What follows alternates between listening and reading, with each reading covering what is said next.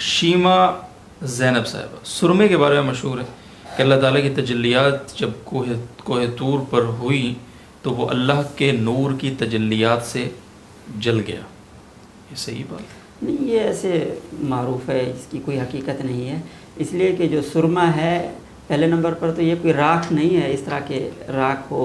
ये तो एक पत्थर होता हाँ। है। और उस पत्थर को पीस कर तैयार किया जाता है। फिर ये पत्थर जो है, ये दुनिया के मुख्तलिफ़ इलाकों में पाया जाता है। मसलन इसमें जो मारूफ सुरमा है, जिसकी अदीस में फजीलत है ये तो ये हिजाज में पाया जाता है और इस तरह असफहान में, मराकश में, दूसरी कई जगहों पे ये पाया जाता है, इसकी वो कानें होती हैं। तो ये कहना कि ये वही तजलिया से, ये लोगों के एक अपनी एक इख्तरा है, कुरान सुन्नत में या किसी मुस्तनद दलील से इसका कोई सबूत नहीं। ठीक।